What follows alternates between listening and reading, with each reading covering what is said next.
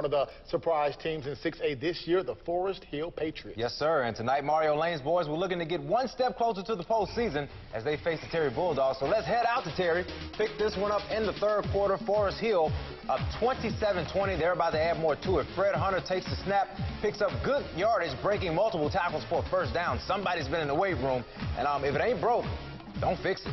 Hunter on the keeper once again, and this time he has reservations for six. EP is no good, but the Patriots lead 33 to 20.